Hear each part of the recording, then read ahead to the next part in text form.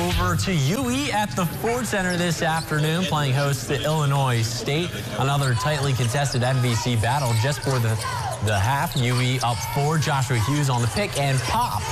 The big man drops a three ball to extend the lead. Next possession for the Aces is Tanner Cuff spinning and getting into the paint, shovels at the Hughes for the deuce. He finished with 11. UE ended the first on a 7-0 run. They lead it by six. Second half, Hughes misses badly on the jumper, but Kenny Strawbridge Jr. there to clean up the mess. Not an easy finish. Two plays later, Anthony Thomas hits Gage Bogue for three. Aces shot just 23% beyond the arc, but they held the Redbirds to 5% from deep. But Kenny Strawbridge doing the dirty work inside.